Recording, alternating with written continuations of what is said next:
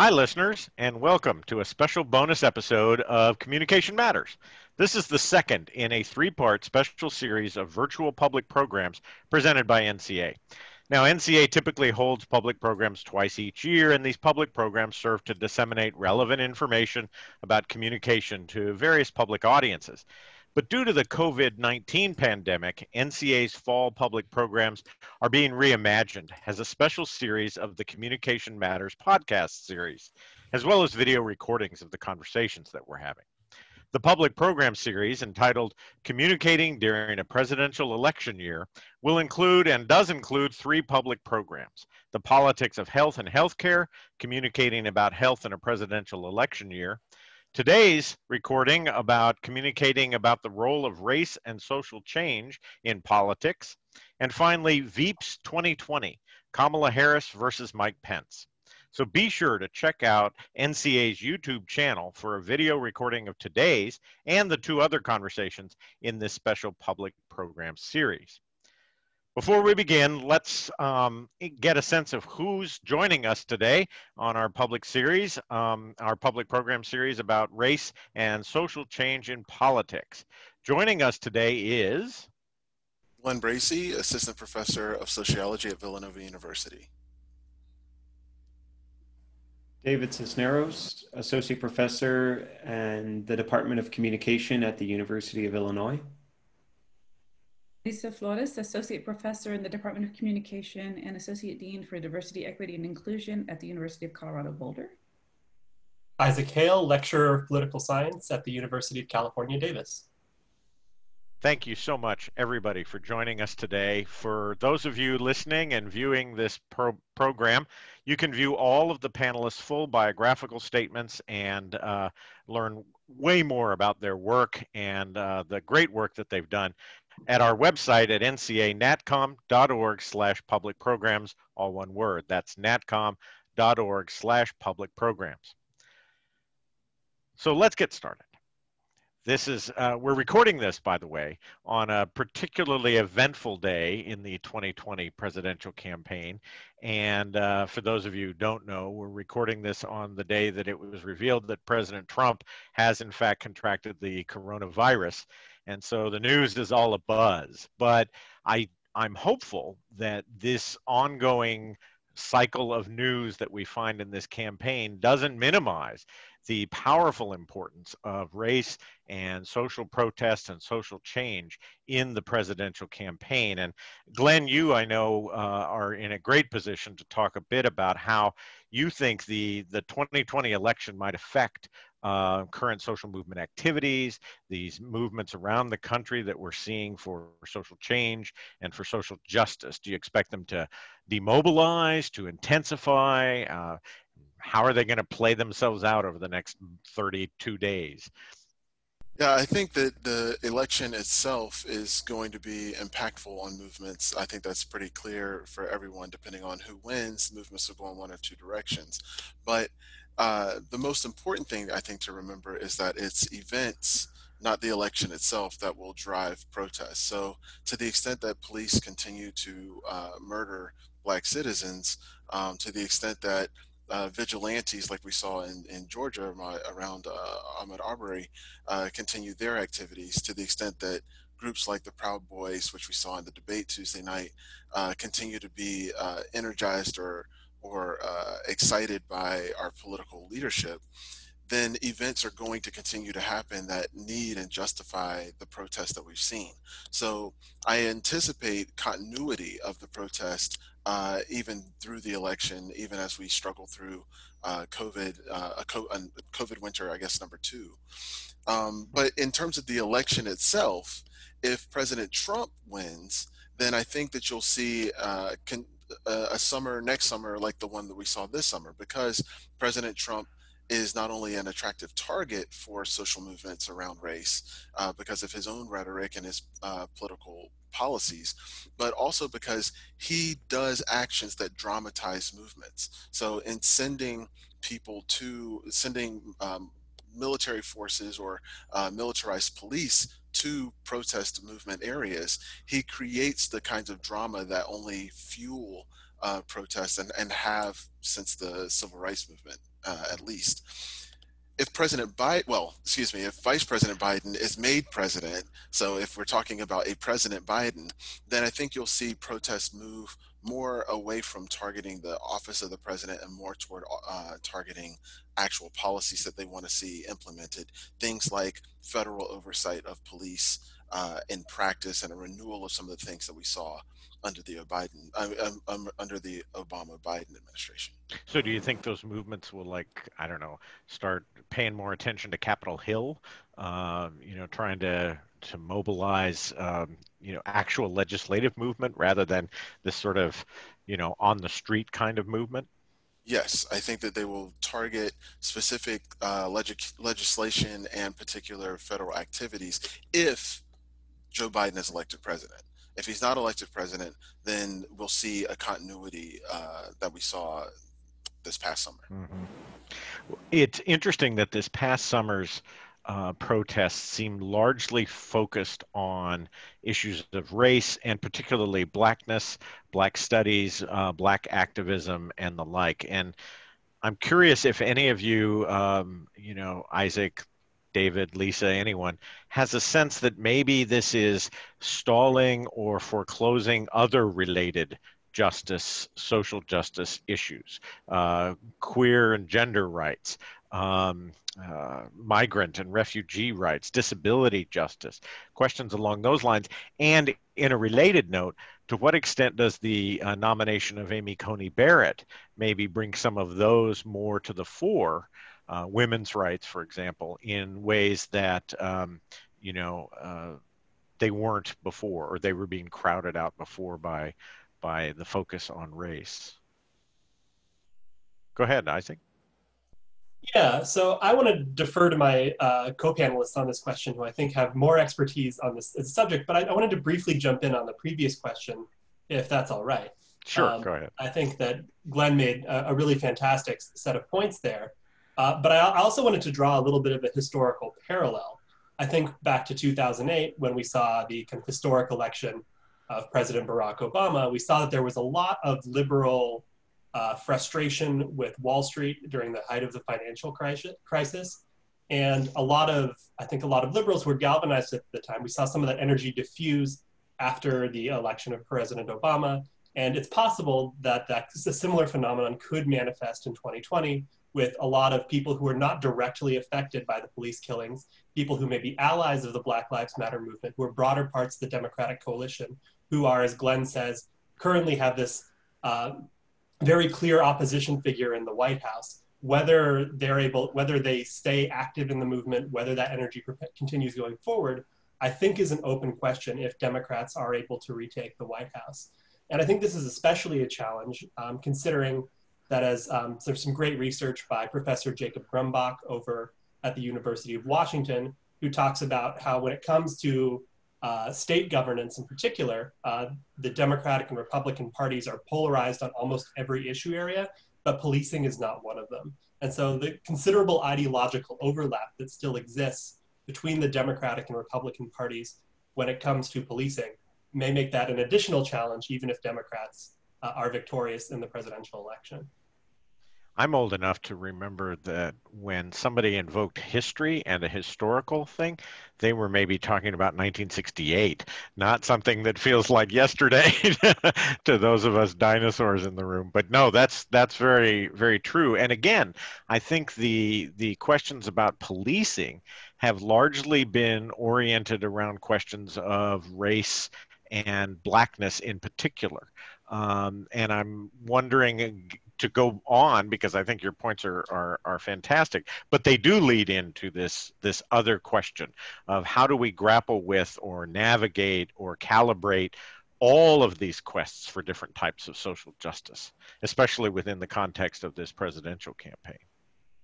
I think that's a really critical question, Trevor, and I'm going to just um, preface by saying it's it's one that frustrates me the question because I think it presumes that uh, it's almost as it's almost a parallel to um, the move to all lives matter or blue lives matter in that it presumes that, that these are that these are separate issues right as if we can talk about disability justice, genderqueer rights, migrant refugee rights without thinking about them as linked to race, racism, and anti-Black racism specifically. Mm-hmm. I cannot imagine how, um, in this moment, we continue to to separate, right? And um, and I know that that's where the motivation for the question comes from.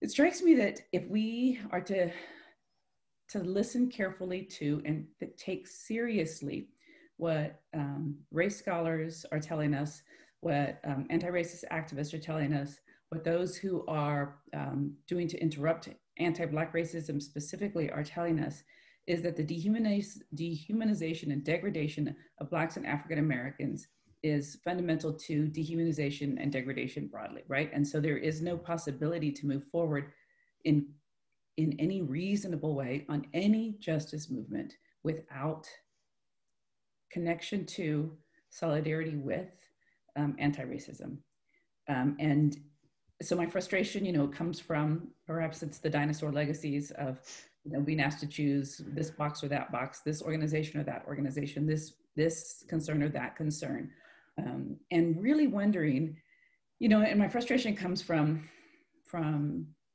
the politics of higher education where um, where we where we continually separate and question and ask um, well what about us and what about us and what about us? As if the the, the pieces are not connected. Um, it's you know it's it's we know we know that um, we have white structures or structures rooted in whiteness we have institutions rooted in whiteness but that doesn't mean that we have to have policies and practices that are also rooted in whiteness. It doesn't mean that we can't um, craft politics, practices, cultures that are about connection, solidarity, complexity. Um, I don't know often how we do that. I think that's, but I do know that that the question does does the emphasis on race, on anti-racism, anti-black racism specifically mean that we're not putting attention elsewhere? Is kind of like uh, social change that is about diversity only, that is about which bodies are in the room. And that is clearly to me just not a politic that works. I think that's right. I worry though that how do we as academics, as teachers and scholars, confront that, what is ultimately a public communication challenge, right? How do we make those arguments for that overlap, that connectiveness, that uh, I don't want to say because it's sort of become a cliche, but it's true, that intersectionality, right? Where all of those forces, the forces for, of social justice for disability uh, rights versus women's rights and all of that, how they're I think in the public mind and in the public media, they're often pitted against one another and how what can we do what's the role of public communication and communication scholar teachers and academics generally in in combating that? Uh, how do we how do we do that?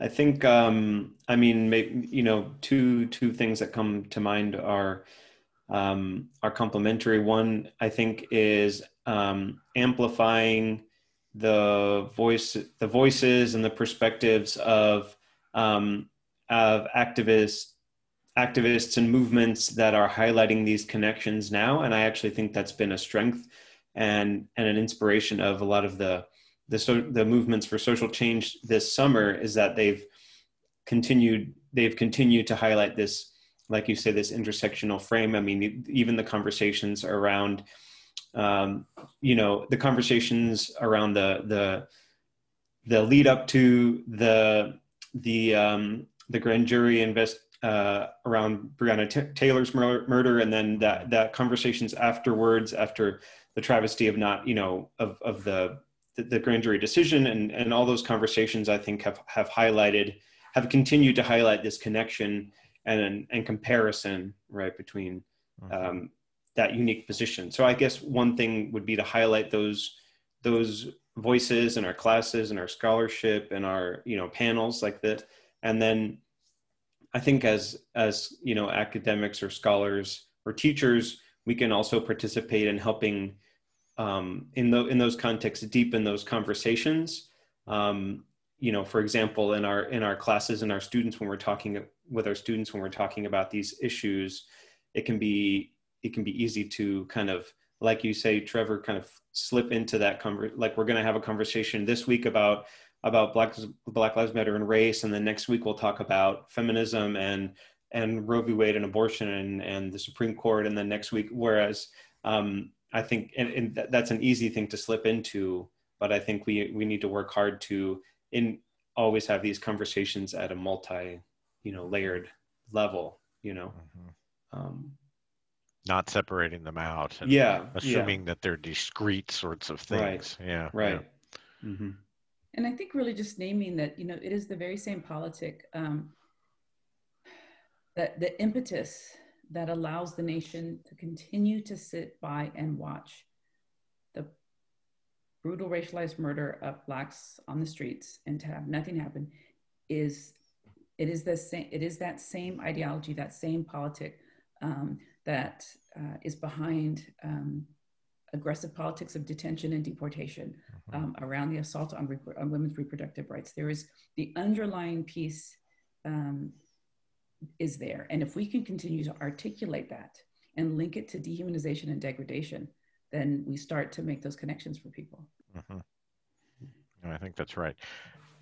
A dimension of all of this is the sort of larger uh, aspects of distrust amongst particularly underrepresented uh, folks and um, uh, folks who who are um, you know for a variety of reasons since 1619 automatically distrustful of uh, promises of change of hopeful messages from the government from elected officials. Uh, it affects their voting behaviors. It affects their participation in vaccine trials. I mean it's it's uh, throughout the the um, the the whole conversations that we have about this. How do we deal with that what do we do about that that inherent and perfectly justifiable mistrust that is a function of the systemic racism that surrounds us all the time glenn go ahead Sure. I, well, I mean, I, I think one thing is to recognize the legitimacy of that response and, and its history, uh, and that we don't we don't end up functionally blaming um, communities of color for responding to the history of white abuse that we have suffered. Uh, I say we as a as a black man in, in this conversation. Um, so, you know, I, I also want to push on. I, I want to bring up the notion that, uh, you know, controlling for class and education, black people do participate in the political process at even higher levels than whites. Absolutely. So it is it is not that being that you know uh, that race means lack of participation. I think what we're talking about is the effects of uh, oppression causing lacks of participation, and so there's there's going to have to be some uh, not accommodation made, but some healing done, frankly, uh, and some trust building done if we want to see these things change in the way that that the question uh, alludes to. Mm-hmm. And I think your point, Glenn, is really important. Um, there's not about the problem doesn't lie with um, Black, Indigenous, Latinx, Asian American, Pacific Islander communities.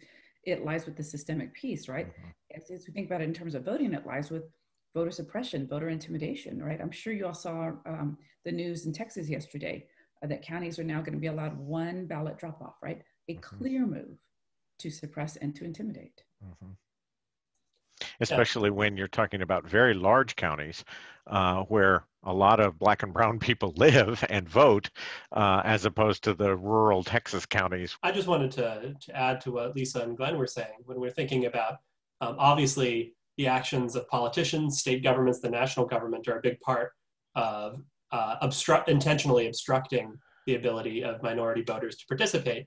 Uh, but I think we also, you know, coming out as a political scientist, looking at it from like this 10,000 foot perspective as well, there are a lot of fundamental institutions um, that happen to be very disadvantageous to minority voters in the country as well. If we think about um, our single member districts that we use for congressional races that tend to be very, very, uh, that do a poor job of representing urban voters where a lot of minority votes tend to be concentrated.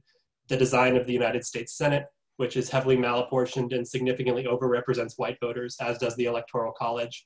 Those are all things that I think, you know, if we're thinking about long-term long-term goals for what would increase, you know, make people feel more represented in the system and maybe um, alleviate questions of not only participation but representation. Uh, those kind of institutions, I think, have to be things that are up for consideration. Especially given their roots in, um, you know, whiteness and the perpetuation of slavery and the accommodation of slave owners uh, during the founding and the whole drafting of things. Yeah, no, I think that's interesting.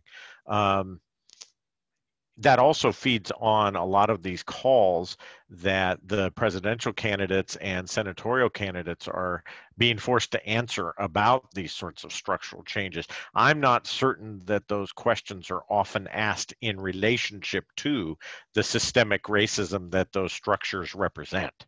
Do you think that? I mean, I don't I don't hear that a lot. When somebody says, "Are you going to pack the Supreme Court?" they don't tease that out and demonstrate its linkages to, say, systemic racism or, uh, you know, end the filibuster in the Senate or something along those lines.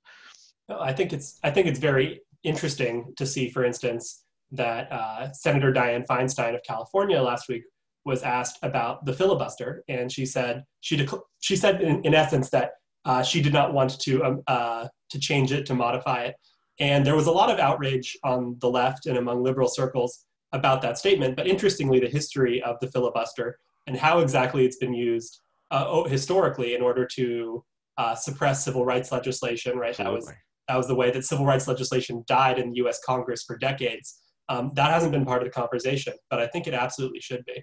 Right. Let's not forget the filibuster in chief for years was Strom Thurmond. I mean, you know, that was his stock in trade, right? And it, and that actually, I think, relates to the previous question about how how we can promote these converse, conversations in a more more complex way. And I think one thing that that is important that you know in in the sort of horse race coverage of of electoral politics, you know, um, it focuses so much on on on strategy um, to the detriment of talking about um, like structure and root root causes. So I mean, I think exactly what you all what you were just talking about where the conversation is like are the is biden gonna is biden gonna want to get rid of the of the filibuster? Is he gonna pack the court? Right? But it's the conversation never is always that at the level of like a political strategy left versus right blue versus red.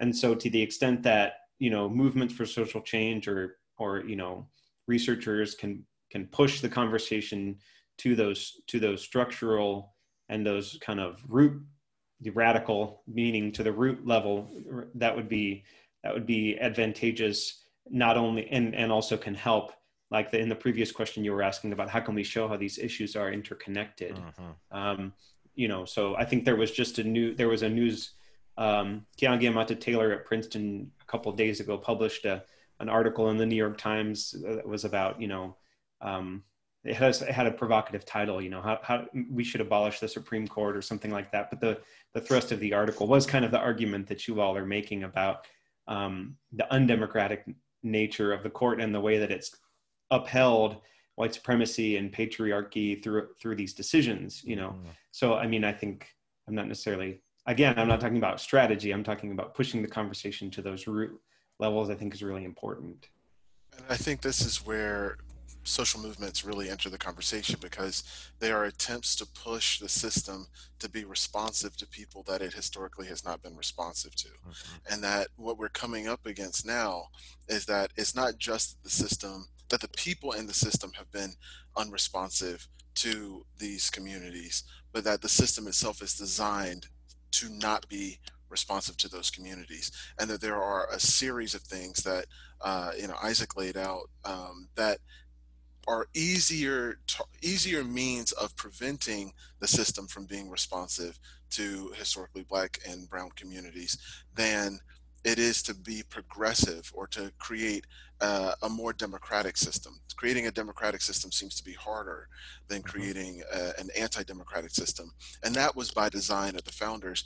I think one thing that we need to do, and and one reason that the president I think is uh, so hostile to critical race theory is because it stops deifying the founders as as perfect, it stops deifying Right. this uh, our system that is so unresponsive to uh, minority communities as perfect, and it starts saying, "Look, we have work that we need to do in our generation to create an actual democracy."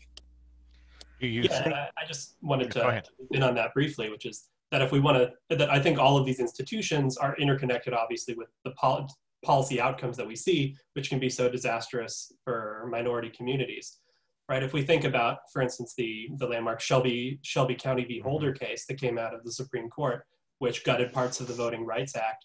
Um, we can step back and think, why do we have a court that has a majority that can produce this this kind of opinion? Well, obviously they've been nominated by re- those those majority justices in the majority there are nominated by Republican presidents, confirmed by Republican senates, and then we think about how do these presidents and senates get elected? Well, uh, thinking about in the last 20 years, there's only been the a Republican presidential candidate has only won the popular vote once, and repeatedly we've seen the Senate uh, Senate majorities being created with minority support of the national vote because of the unequal apportionment uh, of senators across states, or that they're equally apportioned regardless of population, rather, which is uh, what we call malapportionment in political science. right. So that those whole those processes compound on each other, and you know we these political outcomes are deeply interwoven with the unequal institutions which we have. I've often laughed because rather than grapple with the structural biases and problems with the Senate, the answer from some is, well, let's just make Washington and Puerto Rico states. And then we'll just add four more senators, and that's going to somehow solve the problem and get at issues of racism as well, because you're talking about majority uh, African American and, and Latinx populations. I'm not certain that actually gets the job done. I don't know. I, I think it's important for democracy. I think we should Sure. make them states, but I I, do don't too, think that. Yeah, yeah. But I don't think that it gets the job done because of the malapportionment issue that uh, Isaac is talking about. Yeah. And I think that one thing that we should, you know, in in terms of the communications and the conversations that we're having, there's a broad conversation happening that suggests, well, when whites are no longer the majority, then things will change. And what we see is already a system in which we have a tyranny of the minority. Right. That even when whites are the plurality, I'll, I'll point out they will never be in our lifetimes the, the minority. They will they will be a plurality um, if they become a minority, uh, if they lose majority status at all. Sure. But that plurality is more than capable of continuing to dominate as a as as a plurality or even as a minority, which we already see. So we need to make structural changes that lead toward democratization, small d democratization, uh, in every way that we can. That kind of leads into my next question, which I think goes to the difficulties that folks on the left, and in particular the Democratic Party, and in the context of this um, campaign, the Biden campaign, uh, in advancing arguments or you know planting their flag on those systemic structural changes you know we write off the the republicans and we say well you know they're kind of whiteness personified and and they sort of pursue that and and uh, and, you know do a wink and a nod towards Tim Scott, but that's about it, right? Um, the how do how do the Democrats overcome this? I mean, it seems to me that you know these kinds of structural changes are are difficult. Are they managing at all to move the ball down the field? Um, you know, what's your sense of how the Biden campaign, I guess, is dealing with these structural issues, but with race and and all of that in general? Maybe the question, Trevor, is what, if any, interest in investment do they have in moving the ball? Um, and and here's where the distrust comes. Um, Mhm. I have very little optimism to think that Biden is invested in undoing anti-racism or in undoing racism. I have I see little evidence around me that very many folks, even all those who you know are wanting the, to attend the sessions and are listening to the talks and are when when it comes down to making structural change, that's where everything stops. Mhm. Yeah, I think it's worth noting that you know, as as a as a candidate in the Democratic primary, uh, a lot of the appeal of of Biden's pitch was that structural change. He was not going to be bringing structural change, right? He was going to be bringing continuity, and you know, his own personal history with race is, I'd say, complicated to say the least, right? He was the co author of the 1994 crime bill, gave eulogies for Strom Thurmond and Robert Byrd, pushed President Ronald Reagan to ramp up incarceration, and now infamously, thanks to a debate with his now vice presidential nominee, he opposed busing as well, right? And so all of those things kind of suggest that, you know, there's not, I, I don't think we should necessarily expect that, you know, if if Biden weren't representing a larger coalition, that uh, that he would necessarily be that interested in, in as, as, as Lisa says, moving the ball on that. There is kind of whether voters perceive all of those previous things in his candidacy is a whole different question, right? As Obama's vice uh, vice president and as you know the the leader of the Democratic Party, which is increasingly associated with racial liberalism, it's very questionable whether voters are, you know, whether they're applying the Democratic Party brand or thinking about Biden's own personal history. Um, but I think given his own legislative track record, I agree completely with Lisa that we should be deeply skeptical that he's going to be really committed to changing those fundamental institutions once he, if he becomes president. But then what are we left with? I mean, arguably, Obama didn't change any of those institutions. Um, you know, he didn't move the ball much down the field, I don't think, and certainly may have moved it backwards in terms of, you know, migrant rights and, you know, uh, immigrant uh, questions. So what are we left with? I think left with. Oh, I'm sorry, Lisa. Go ahead. I think we're left with the the point and the power of social movements, which is to drive the agenda to force our uh, political officials to move in, in particular directions. I mean, President Obama very famously, you know, called on the uh, the OFA to continue to push him uh, so that he could, you know, in, embrace particularly progressive policies. And we saw that after Ferguson and the the, the Black Lives Matter movement really manifesting, he then was able to use his uh, off, the Attorney General's office to oversee police and do some of the things that that progressives are looking for. So if the movement continues and continues to push, you know, it Biden the Biden's interest as a person are important. I don't want to say that that human agency is not important. Human agency is important, but uh, finding using social movements as ways to push them to use their agency in particular ways is going to be important. And so we have to stay organized. I'm sorry, Lisa, to interrupt.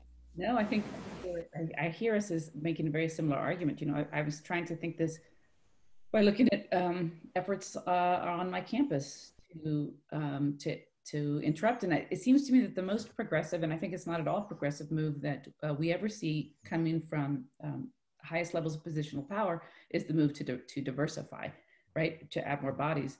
And if we're going to wait, like on my campus, if we're going to wait um, for social change to come from the chancellor, well, that's, you know, not, we, we just give up, right? The change comes when we say, all right, so what is it that we are able to do? Mm-hmm. Um, which I think, Glenn, is very much in line with what you're saying. Yes. Okay. So movements are going to have they has that ever worked before? Yes, I mean the civil rights movement okay. was very effective in in causing some structural changes. Uh, you okay. know, the the fall of Jim Crow, the Civil Rights Act, Voting Rights Act, Fair Housing Act, a, a whole series of other things. The end of the immigration quotas from 1924.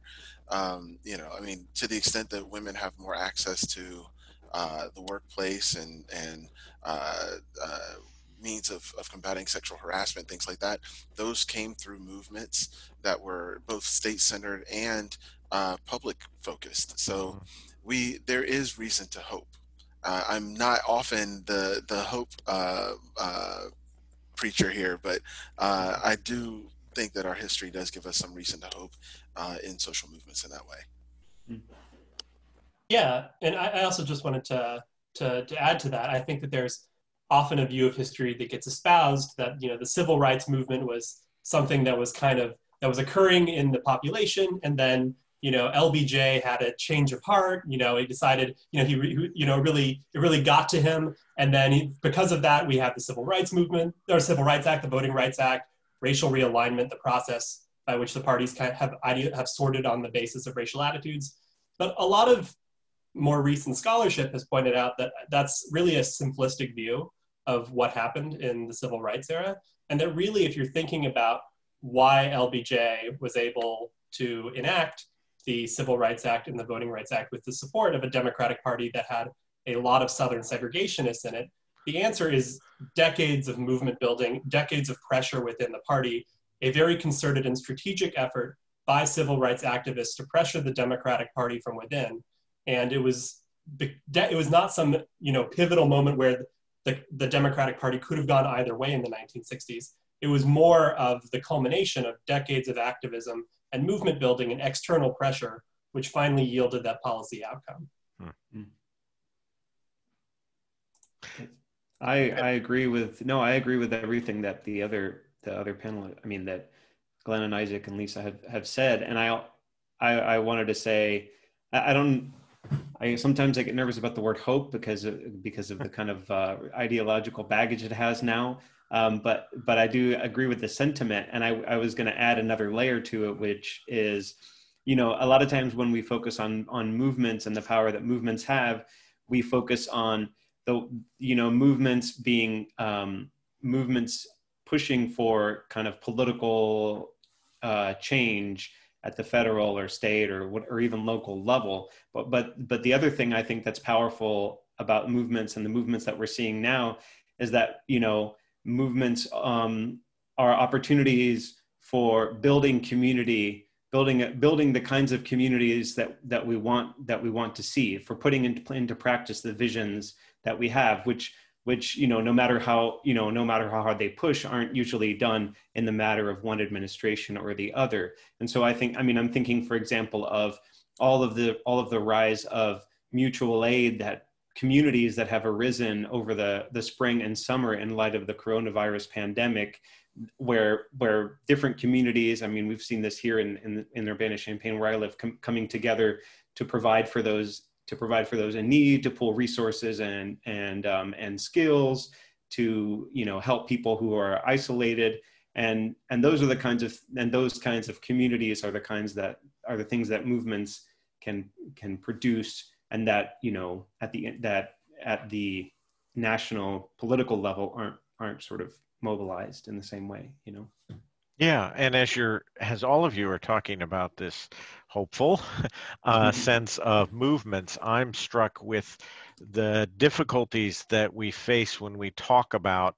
Uh, I guess I'd call it a rhetoric of progress, right? This this idea, and you know, maybe it's uh, it's um, King's uh, arc of justice or arc of history bending towards justice and things like that. It strikes me that those rhetorics, both of hope and of progress and of justice, are so linear and almost um, relentlessly sort of progressive that they can't really account for a Trump, right? Or the the ten steps back that we take. Um, I'm I'm thinking here of the death of Ruth Bader Ginsburg and all that she represented for decades, and now we're looking at a 6-3 majority to strike down uh, Roe versus Wade, uh, to get rid of the Affordable Care Act, to to you know potentially undermine gay gay and, and lesbian rights uh, or LGBTQ rights and all of that. Uh, I don't know. What do you think? Am I just whistling Dixie here, or should we stick with the sort of movements will make the change the world kind of kind of idea? Uh, I think that you i mean you have a point right? That it's definitely not a, a linear process. I appreciate one of the points that ibram kendi makes and Stamped from the Beginning is that it's not as though uh, progressive movements are the only ones that are moving. Mm-hmm. uh, you know mm-hmm. regressive movements are advancing as well at the exact same time. Uh, and so there's a there's there's a, a, a co-relationship there that we have to attend to that pushing in one direction, there also needs to be a rear guard mm-hmm. because the opposition um, is is pushing as well. That's just a feature of of time and movements. It's nothing is inevitable. We all are working to advance our, our interests. Yeah, and I, I just wanted to briefly add to that that it's exactly to Glenn's point. Um, you know, there are large parts of the country where Roe is already de facto overturned, right? If you Sure. if you live in in certain parts of the country, there's one abortion clinic that you have to drive a whole day to get to, right? And then you have to come back again the next day because of the pr- procedures put in place by the state legislature, right? Um, so as and this is the the result of the success of the kind of regressive movements that that Glenn talks about, and obviously it's a push and pull, and we can think about you know you know when it comes to things like abortion, when it comes to things like economic inequality, which has you know been increasing quite steadily over over over decades, right? Without without uh you know there doesn't seem to be a whole lot of progressive success on the income inequality front, for instance. Um, you know there's there's a lot of forces moving in the opposite direction as well and a lot of interests that are very powerfully aligned against you know the the, the things that the movements for for racial justice or economic justice or gender justice care about And then What- it goes back to the public communication piece of this, right? The, the progressive narrative, the linear narrative um, is just a narrative of, of whiteness, white supremacy that allows us to relax, that um, says, well, things are so much better now. So it takes, you know, you can check out of the conversation. And so we have to, I think we have to disrupt that narrative of progress um, in every way possible and really name kind of a, a, a racial temporality to it. Um, a, a race, uh, what, what would it mean to articulate um, movement um, that is not linear uh, and and or circular, any of those pieces, Mhm. as a way to think about how we challenge conversations around race. Mhm. Speaking of challenging conversations about race, I think the last couple of days have been particularly poignant. Prior to the president's diagnosis of coronavirus, we had his performance on Tuesday night uh, in the first presidential debate, where he, um, you know, and I don't know if this is necessarily all that significant, but it seems symbolically significant at least, where he, you know, refuses to condemn uh, the Proud Boys What do you want to call them? Give me a name. Give me a White name. Go ahead. supremacists and would right like me to condemn? white Proud supremacists and right Proud. Boys, stand back and stand by. and and ends up uh, then going to Duluth, Minnesota on Wednesday and or Thursday, whenever it was, and um, really pulling out some some significant white nationalist racist tropes uh, against Ilhan Omar, uh, the congresswoman from from Minnesota. And what about Omar, where she gets caught harvesting? What the hell is going on? I hope your U.S. attorney is involved. What? What is going on with Omar? I've been reading these reports for two years about how corrupt and crooked she is. Let's get with it. Let's get with it. I mean, frankly, harvesting's terrible, but it's the least of the things that she has done. How the hell? Then she tells us how to run our country. Can you believe it? Uh, any thoughts on how this might, you know, play out and how we we deal with all of this as as uh, uh, you know interested parties seeking to educate young minds and move the society towards greater social justice? It just it seems frustrating. So I'm curious about your reactions to these recent events. I think that Trump's remarks, while they're inflammatory, are also quite par for the course for his presidency and his 2016 campaign. Um, I think it recalls his post Charlottesville remarks where he said there are, you know, are very fine people on, on both sides, referring to the white supremacists who, who showed up as counter protesters in Charlottesville. Um, we can also, all, of course, all recall back in tw- his 2016 campaign where he said that many Latino immigrants are criminals and rapists, right? Uh, and there, are- there are a lot of examples in this vein. Um, and there's uh, a lot of political science research, including some work I've done with uh, Dr. Carlos Algara at the University of Texas El Paso, that shows that Trump and Republican candidates uh, down ballot have benefited from these kinds of racial appeals. And racially conservative white voters are swayed by them, right? We've seen that there is a real electoral incentive for uh, Republican candidates, including President Trump, to engage in this kind of rhetoric. Um, and whether or not his remarks are off the cuff, from the heart, or purely strategic, I think he knows that that kind of rhetoric helped him win in 2016. And I think, like many politicians, he wants to win re-election. Um, and so I think I think it's it's disappointing to hear that kind of rhetoric, but certainly not surprising. Mm-hmm. and sometimes I wonder if the alternative is, you know, the rhetoric pre 2016, uh, which was still as um, still a rhetoric of whiteness, just one that was tempered in racial neutrality. And again, if we think about um, trying to do interruptions at local levels um, around policies, practices, culture, you know, it's so much easier to interrupt the overt. And so much harder to interrupt the latent and the um, implicit because you know we have to work that much harder to convince um, again I, am thinking about this in terms of like the higher ed landscape but i think it's it's a pretty relevant metaphor for politics to convince um, those who can make the change that a particular policy is racist if we can't if it's couched in racial neutral language. And so then you know the work that we're having to do in order to to, to advance those changes um, is longer slower um, and with way fewer allies so uh, there's a real risk to a lot of bodies when he mobilizes white nationalists. Um, we know that that that that there's uh, violence on people's bodies, um, and there's the the violence is still there without the overt white nationalism. But you're saying that in a way. We're fortunate that he's so overt about it, that it changes at least the calculus that uh, we have to do in the pursuit of social justice. I don't want to say fortunate. Okay. You... I um I want to say um, there are a lot more people listening mm-hmm. and ready to say, okay, let's think about this. Let mm-hmm. me think about what I'm doing. Let me think about this practice. Let me think about this policy. Um, and it's much harder to do that um, in racially neutral language. So mm-hmm. I, I, I, the the mobilization of um, white terrorism is terrifying. Mm-hmm. Um, and uh, black bodies have been scared for a very long time with right. very good reason. Right. Hmm.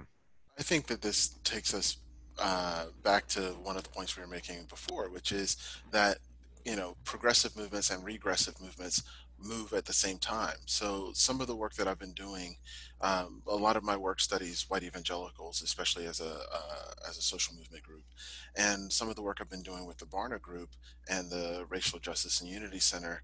We did a survey in 2019, July of 2019, where we asked people, "Do you think America has a race problem?" It went from the options were definitely, somewhat, and none, and then we asked the question again. Uh, Barna did through the Race Today study, and uh, again in July of 2020, we found that the number of people who, of practicing Christians rather, who said uh, that there is no, not a race problem at all, went from 11% in, in 2019 to 20 to 19% in 2020, which is almost a doubling. And keep in mm-hmm. mind what happened in that interim. What happened in that interim was the George Floyd uh, and Breonna Taylor uh, uh, murders. So mm-hmm. what we're seeing and, and what uh, Chad Brennan was able to to demonstrate in an article in Relevant Magazine is that uh, for those Christians, for those white Christians who were watching Fox News, they were even more likely to deny that there was a racial uh, problem in the country. So where you're getting your information, right? The communication that you are that you are in, uh, ingesting or, or, digesting rather um, is greatly influencing you know these outcomes. And so we're going to see both move together. The president is going to be effective in using these kinds of uh, outrageous statements to excite his base and they're also going to have the effect of mobilizing some people on the progressive side at the exact same time we're going to see these move together. It's it, we we shouldn't read one as a failure uh, or as a success. So, I guess in in a in a sort of wrap up mode, in a way to sort of bring this all together, um, thinking what four years, five years down the road. Uh, what uh, depending upon what happens uh, in the next 32 days um, what does what does our racialized political life look like? Uh, what does our discourse feel like? What what can we expect? Um, you know, moving forward. I think you know.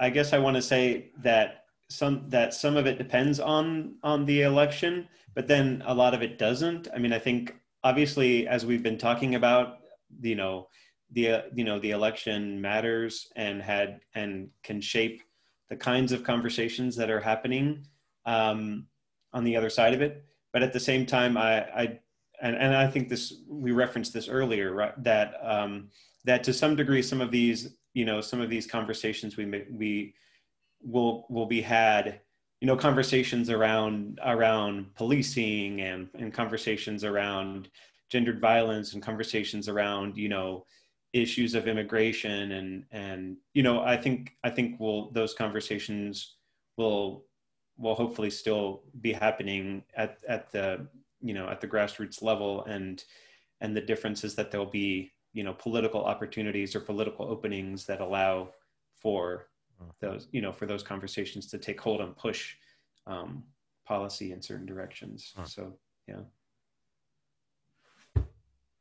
Great and I think I'll just briefly speak to the electoral side of it, since that's my wheelhouse and that's what a lot of my research and teaching is about. Um, but I think it's interesting when we're thinking about the future four years down the line, right? Thinking about 2024, for instance, right? On, on the campaign trail, former Vice President Joe Biden has like has advanced the view that President Trump is isn't the new normal. He said that his quote is that history will treat this administration's time as an aberration and that after Trump leaves office, quote, you'll see an epiphany occur among many of my Republican friends, right? And I think his assertion raises this important empirical question, right? Is, is Trumpism distinct from the GOP's winning electoral formula going forward, right? And, but I think I, some, some, some research by myself and others have shown that like, if you, even if you just look at the 2018 midterms without Trump atop the ticket, or if you look back to the Obama era where Trump wasn't present, we can see this immense centrality of race and racial attitudes in American elections. And so I think the view that's espoused by some, including, including the Democratic presidential nominee, I'm, I'm somewhat skeptical of it, right? And I think it's exacerbated as well by the shifting party coalitions, right? We've seen that white working class voters that were traditionally part of the Democratic Party base have swung hard towards the Republican Party uh, in the 2000s. And we've seen simultaneously that suburban, highly educated uh, white Republicans, particularly women, have been moving into the Democratic coalition as well and being strongly targeted by uh, by Democratic by Democratic candidates. And these white working class voters who were previously part of the Democratic New Deal coalition because of the liberal economic policies, many of which they continue to support. Um, well, the, the success that the Republicans have had with them is, is in part, of course, driven by these racial appeals and the fact that the Democratic Party has been decreasingly making economic appeals to these voters. And so there's a really strong electoral incentive because of these shifting party coalitions for Republicans to try to continue to try to run up the score and eat into these formerly Democratic voters. Um, and I think that creates this really strong messaging and electoral incentive for them to continue to make these kind of racialized appeals, which were able to not only deliver them uh, victories in the 2016 presidential election, but also rack up congressional majorities in 2010 and 2014. And so I expect that with the current trend in the party coalitions, we'll continue to see uh, Republican candidates utilize nationalist rhetoric, make racial appeals. The, the electoral incentives are there. So a repudiation of Trump's not going to make any difference if it happens. I mean, I think that you could. There's there's a tension, as I think was mentioned by Lisa earlier, between the explicit appeals towards race that Trump has made versus the dog whistle appeals to race that typified earlier campaigns. We can even go back and think about the, uh, the, the, Southern strategy pioneered by Lee Atwater, thinking about the Nixon campaigns, the Reagan campaign, the H.W. Bush campaign, right? Um, I, all of those featured, of course, dog whistle, you know, more, much more subtle racial appeals. And I think if they're if Republicans get the message that these explicit appeals are electorally damaging, they may, we may see a return to those kind of dog whistle style appeals. But I certainly don't think that racialized messages uh, are, are necessarily uh, are necessarily going anywhere. And considering that the last, you know, that the last Republican presidential victory was in part assisted by these racial appeals, I think makes it likely that we're going to continue to see, at least from a good chunk of Republican candidates, explicit racial appeals going forward. I'm old enough to remember the lily whiteism of Herbert Hoover, but we'll put that aside. Go ahead, Glenn. What do you think? Oh wow. Well, I, you know, I picking up on what the other panelists have said. Racism is the the dividing line of our country, and it's going to continue to have extraordinarily extraordinary legs. I would say on on on both sides that this movement, the Black Lives Matter movement, has demonstrated some continuity. Mm-hmm. These um, these small local uh, uh, communities that have have formed as among activists, they are they will be able to to survive changes in the news cycle, things like that. Events will continue to happen. Uh, whites, especially white police, will continue to kill black people, unfortunately, and other people of color and trans people, etc. Mm-hmm. And it will that will continue to demonstrate the need for the movement. So the movement is going to continue. The movement will still be here uh, in 2024, 2025, and white supremacy and the the dog whistles, the explicit calls, etc., that uh, Isaac was talking about will also be here. Uh, I think as loud, if not louder, in uh, in 2024, if only because the sense of white um, aggrievement or the sense of loss, especially frankly among uh, white Christians, is going to only amplify as their numbers uh, appear to be in decline. Right. Exactly. So expect more of the same in in even louder. Well, you guys are giving me a lot of hope here. This grievance politics is going to stick with us for a long time. Lisa, I guess the piece that I'd add is, um, you know, that we're going to see the financial uh, devastation um, for a long time, and that devastation is going to be global, and that means that um, migrant refugee communities are going to be uh, mm-hmm. continue to um, face the, the probably the the biggest hit to to their lives, and that then means that um, nations cast within whiteness are going to continue to uh, fear the that kind of assault on the nation, that perceived assault on the nation. I should I should make clear to say it that way, which then is going to just intersect with, um, mm-hmm. uh, you know, what Glenn names the the constant that the black men are still going to be killed by white police, right? Mm-hmm. Um, uh, and when you put those together, the and I don't think that this is just a Republican narrative. This is a narrative of, of a nation in whiteness um, that the threat and the fear is, is out there, and the response to threat and fear is to protect um, that much more vehemently. So, you know, we have to have we have to have something to hold on to, and we know that um, a Biden presidency is going to do less damage than the Trump presidency, um, and and we know that um, you know the local elections um, the midterms are also bringing about incredible change and so that piece um, is is significant, is very significant. All right. Well, on that hopeful incremental note, I want to thank you all very much. I think this was a stimulating discussion and a very interesting uh, entree point for Communication Matters, the NCA podcast, and our public program series to really dig into some of the issues surrounding race and social change and social protest has it's occurring or not occurring in the context of the 2020 presidential election. So, listeners, I hope you enjoyed this discussion, and I hope you'll uh, join us for the third public program in this special series that will be coming out and dropping in your podcast uh, list in a couple of weeks. For more information about NCA's public programs and uh, the Communication Matters podcast series, visit the uh, NCA website and natcom.org slash public programs to look at our series of public programs.